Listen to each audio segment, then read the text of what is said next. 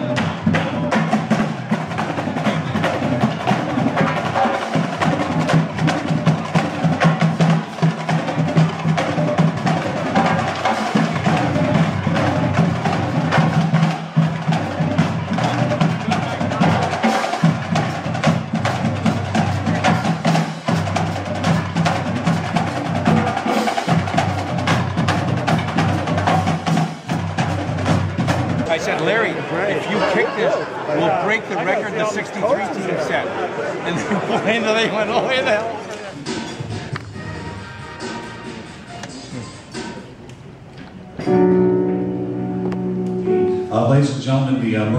Team Award goes to that 1963 St. John Johnnies team that you saw that video about. And we have a number of them here. We'd love to bring them on up.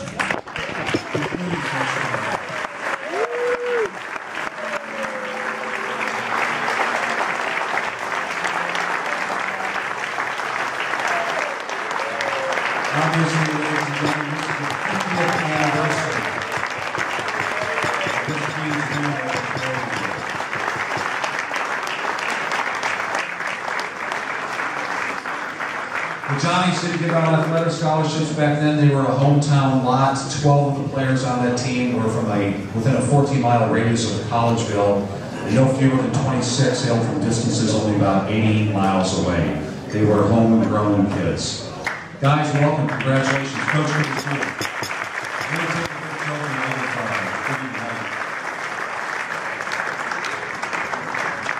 What do you remember about those days? What was it like playing against those? we just had the two most powerful weapons to man. We had uh, confidence because we had a lot of ignorance.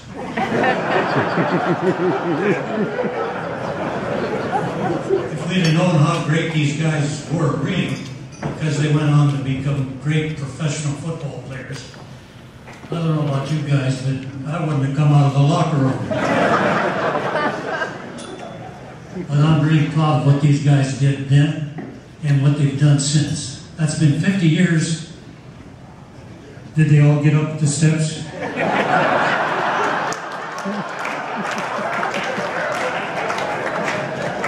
Johnny, best. Thank you very much.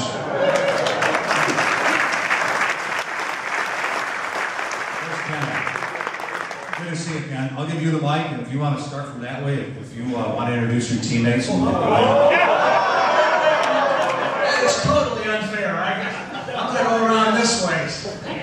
Stan Such, Bob Six, Mike Cobb, Craig Mayer, Josh Rexel, Mike Sherritt, John McCormick, Terry Hart, Gary Uso.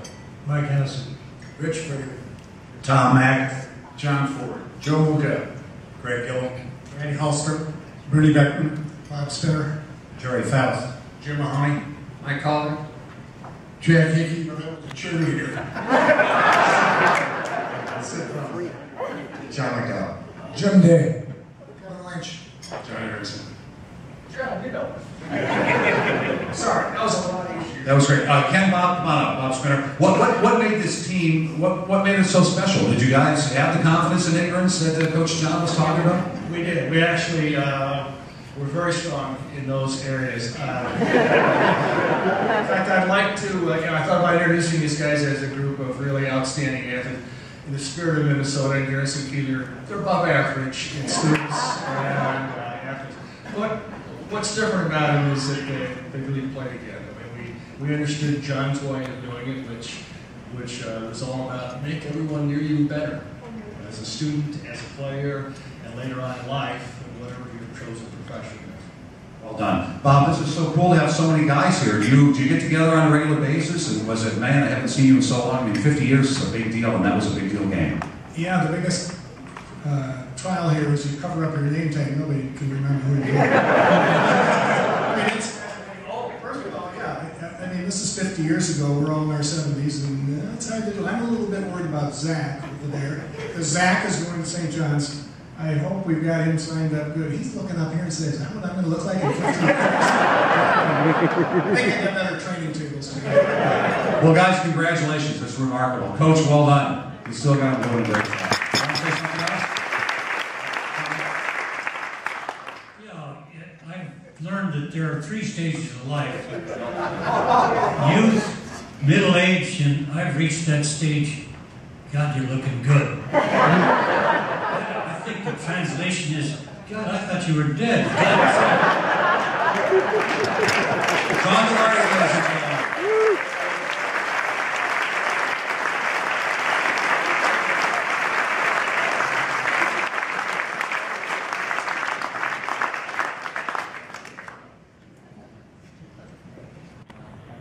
We're gonna make sure each of them gets a little memento of the, uh, the big game, the big day. Guys, congratulations, well done. Who knew, a little piece of history. Got to laugh tonight, got to cry a little bit, got to learn a lot, and got to laugh, because John Maloney's here as well, so fantastic evening. We'll go ahead and move forward with the program as these guys get their awards.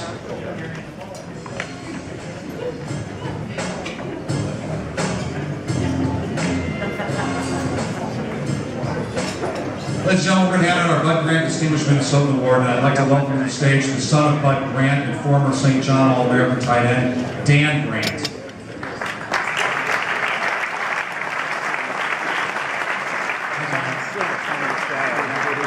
and gentlemen, the 2013 Bud Grant Distinguished Minnesota Award is presented to T. Denny Sanford for his contributions to Minnesota football and his enormous commitment to supporting the community.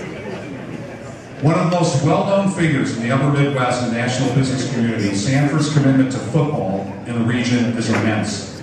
A native of St. Paul, Sanford graduated from St. Paul Central High School oh, Initiative, Initiative at the University of Minnesota. In order to fund the campus stadium, Denny originally pledged $35 million for its construction and ultimately donated 6 million for the construction of the T. Denny Sanford Athletic Hall of Fame that now bears his name.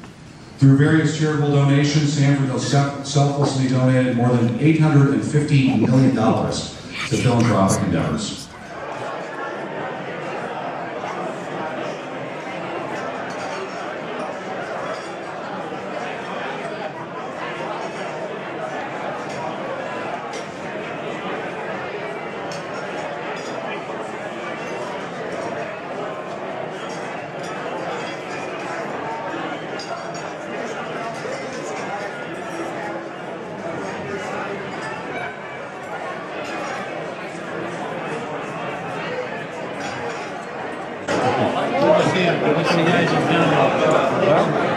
It was it was great. I was. In fact, I was the only one who started on two national championship teams. Ken Boston, about six. No, he was going to come. Oh, you're on top. He did. Yes. Well, good seeing you, John. You take care. Yes. You know, returning to one, you're a man of leisure now. A four-letter word. Never forget that. Take care. This guy went on to be an all-pro tackle. And he blocked down. I was able to shed the block of this guy coming down on me and actually helped to make the tackle before he scored. And the goal line, that's the end zone. The goal line is right in here somewhere. So he, he stopped it. I don't know if I've ever seen a picture before.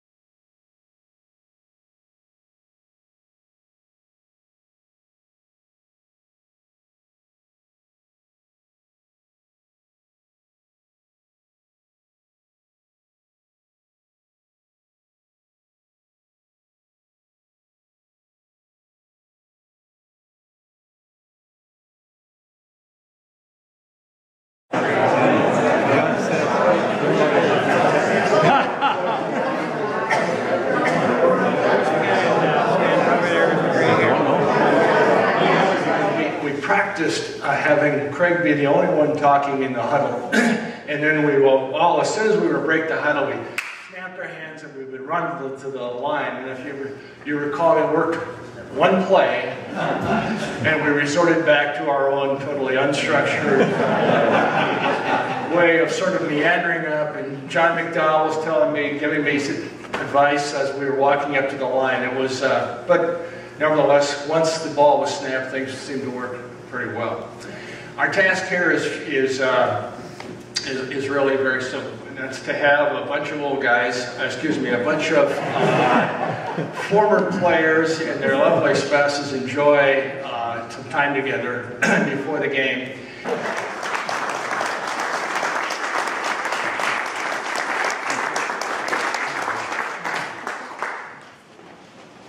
What I want, what I want to know is, is there a game today? What do Think of these guys? Well, I've lived off of this team for a while. And um, they've actually made, that was the secret to everything. If I could find guys like this, great ball players, people would think that I knew what I was doing. And uh, that's got me by. Well, that game, I don't know if anybody will appreciate it as much as I do, because that Prairie View had to be one of the greatest teams in football. And they proved it by going on to become great professionals. I remember a few years after we played this great team, the Vikings played the Kansas City Chiefs in the Vikings' first Super Bowl. Well, the Vikings didn't. They got run over by who? Over Oversteer. The guy that, uh, well, our, stand up there. How much did you weigh in those days? Uh, They published the starting lineup in the Forget the paper. published. I weighed 145 pounds. 145. He, he was supposed to cover him on that side. Bernie, how much did you weigh? Stand up there, man. That was 165. That was All the way up to 165. And of course, we had Myers in the secondary. How much did you weigh? 170. 170. Otis Taylor was, well, he was big, tall, and fast. These guys were small, slow. But somehow we, well, we didn't stop them completely, but we did beat them. And, uh, but that was an achievement that, that no one will ever appreciate. And me, we played a lot of great teams, beat a lot of great teams. But uh, even that year, we when we beat UMD, who was still in our conference, still had champions, still had scholarships, because we were in those days we there were no rules against it. We were no Division Three. We go up to play UMD. As soon as we went to Division Three, Jim Malosky and UMD got out of the conference. He, he told me, he said, how the hell can you play football without scholarships? Well, we didn't have any scholarships because, of course, there were no rules against it. And one of the stupidest moves I ever made was when I first got to St. John's, the monks asked me, do you need scholarships? Well, I was pretty naive. I was only 26 years old, so I didn't know much. And I said, no, I don't think so. I had never been on a scholarship myself, and we didn't have them at Carroll. Well, little did I know that Gustavus, St. Thomas, and Concordia, they all had scholarships. We did pretty well without scholarships. So, uh, anyway, we, a lot of things have changed since you guys, you set the standard so high that we've probably never achieved it again. But I have, did change a few things after learning from you guys. I did say, people ask me how we, our players hardly ever fumble. I said, well, I told them that if you fumbled, it, it, had, it would have been better had you died as a child.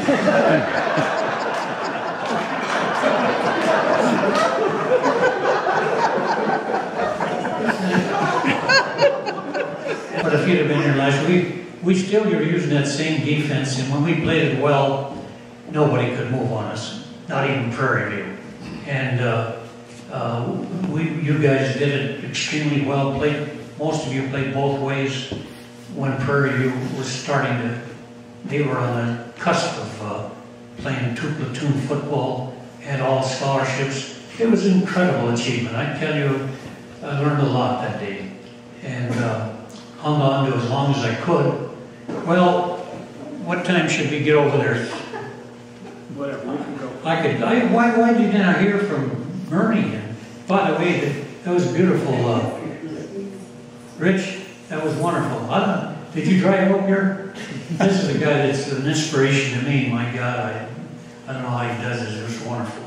Bernie, how come you didn't say a word? Get him up here, what the hell? This guy, this guy, after the dust settled, he played both ways in that game, as you all remember. This is for those that don't remember. With all those future pros out there, who was voted the most valuable player of the game? I don't think it was you, was it? No, it was Vic. Bernie, that big, how much did you weigh again? You lied like hell, I know. What do you got to say? Well, I've never, never been much for public speaking or anything, but uh, uh, I just uh, really enjoyed uh, the four years playing under John. Uh, learned a lot from him. I, I do remember um, freshman year, and uh, we're having a little trouble in offense, and it's like second game of the year, and John's, you know, John's wandering around the sideline and, you know, pulling his hair, and, and he says, "Beckman, get up here, please. Get all excited, get my helmet, I get up there, and then he wanders away from me. and I'm standing there, and then I get down on one knee, then I get up and I go back and sit on the bench, and then he does it again. Yelling, I run up there, and uh, do the same thing. And something happened, and he wandered away. He did it a third time, and I got up there, and he wandered away. And Hasbrook, Hasbrook says, "Get in the game, for God's sake!" He said.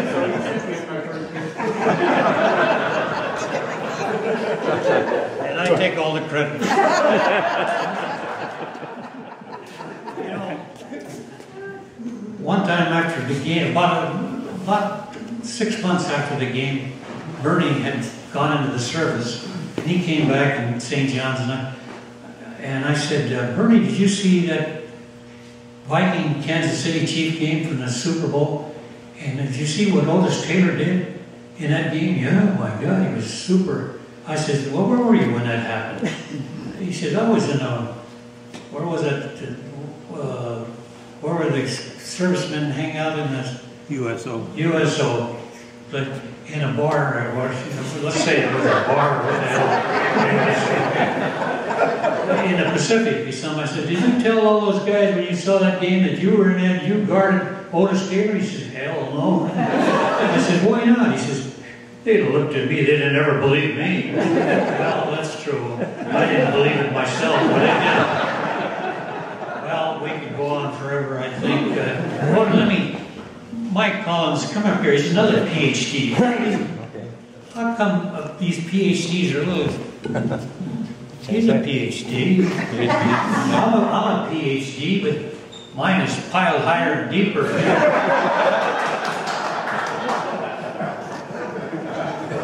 Well, I can tell two stories, and I'll make it quick. Um, first of all, I was uh, the starting defensive tackle, thanks to Fred Kramer breaking his hand. Um, so I got to play on defense for most of the season, and um, but I also filled in a couple of times on offense. There was one game where Dave Honer, I think, had broken his hand, and so I was playing left guard, and uh, I thought I did a pretty good job. And particularly one play, we had fourth down, about a yard to go, and we did a quarterback sneak, and we got about four yards. And I got up thinking it was a great block. And we get back and do the film session, and I remember we played, played that play over and over and over. He says, Collins, if you'd have stayed on your feet, we'd have gotten 10 yards. but I learned something, you know. Um, the other thing I would say is that um, this goes back to my senior year in high school. And again, I'm old, so I don't remember if it was in the fall or if it was spring practice. But I was invited over to St. Thomas as a recruit to play at St. Thomas. And there was a group of about maybe six or eight of us watching practice. And it was a, just a full out scrimmage. And about halfway through the scrimmage, a fist fight broke out between two guys. And they were really going at it. So Nate Harlan was the coach, and he took the whole team and just moved them 30 yards downfield while these two guys just pounded on each other for about 15 minutes. Finally, the fight ended. They joined the team, and, and then we're looking at each other like, oh my God, this is, this is college football. And we went down to the locker room afterwards, and everybody, and they're nice guys. I mean, I have to say, after years, I can say St. Thomas football players uh, were nice people. They, but they were all just beat to hell. They had, they had scars, they had, uh, you know, raspberries all over their faces and arms. And we got to meet them. I thought, okay, this is good. I'm going to go to the University of Minnesota. and then um, I, I, came up to St. John's and it really wasn't a football recruiting trip. Um, John actually, you never recruited me. Um, it was Bob Gavin who recruited me. But I, I came up here uh, as part of a, I think it was like the Catholic Youth Center had a busload, wanted to see the new church. And I came up early and watched practice. And what I remember about practice was that people seemed to be enjoying themselves. They were having fun. There were no fist fights. And I think as, again, I might be convoluting stuff, but there was the, the drill where you had the two lines and you'd have to hold the football up, spin around, and then kick it to the other line. And the line that got all the way through back and forth got to go take a shower. Do you remember that one? It turns out there wasn't enough hot water for the whole team to take a shower. anyway, I went down to the locker room afterwards and met some guys, and they were laughing and having fun, and there, there were no scars, there was no raspberries anywhere. And I thought, wow, this could be kind of fun. And so I came to St. John's. Plus, Bob Gavin called me up. He was a chemistry major. And I was thinking of being a chemistry major. And he said, we have a pretty good football team, and um, we have a pretty good coach, and a pretty good chemistry program. And I thought, okay, three for three. I'm, maybe I could be pretty good. And uh, so I came up here, and I have to say, they were the four of the best years of my life. I got to play on, you know, two national championships. Um, I mostly witnessed the 62 undefeated team. I think, I think I was on the sixth team on that, on that one. But um, I met some great people, uh, both in football and in the dormitories and in my classes. Some of them are you know, still my really good friends. Mark is here, he's my best friend, and uh, I'm just so, it's just so great to be here every time. So, um, again, as a sophomore, I was just thrilled to be on the field and to be with these guys like Bernie and Ken and all the others, Craig. I mean, it was terrific. So I want to thank you for and John for making my life. Thank you. You guys got those PhD, what the heck? Jim Day over here got his MD.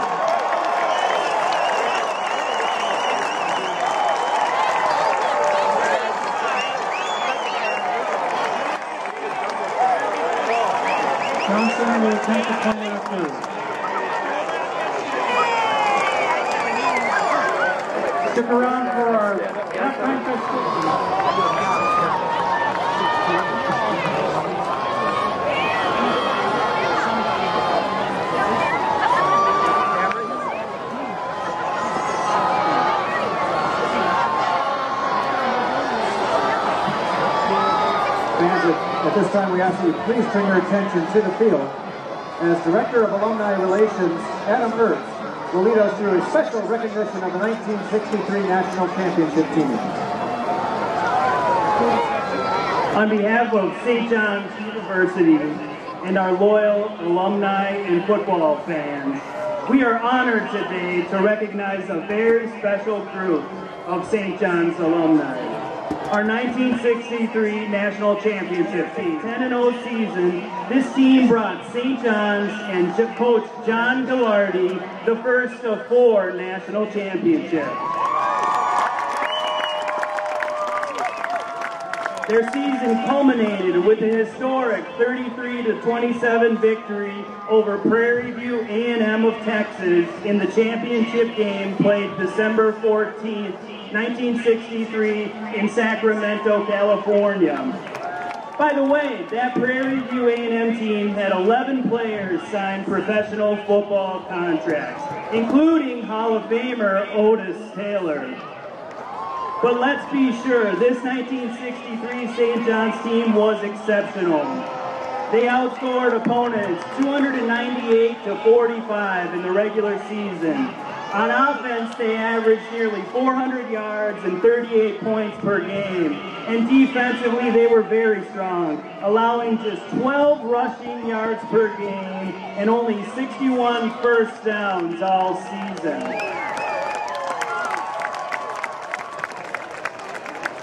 The members of the 63 team with us here today are Team Captain Bernie Beckman, Mike Calder, Mike Collins, Jim Day,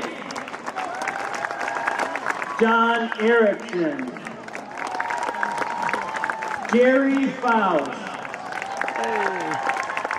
Steve Blady, Randy Hallstrom, Terry Hartman, Bill Hassan, Kevin Lynch, John McCormick, Tom McAsee, Joe Muka, Team Captain Craig Meyer, Sid Prom, Team Captain Ken Raring, Bob Sexton, Joe Stencil, John Traxelis, Ken Voss, and Gary Yuso. Let's give these Johnnies from our 1963 championship team a big round of applause. Thank you.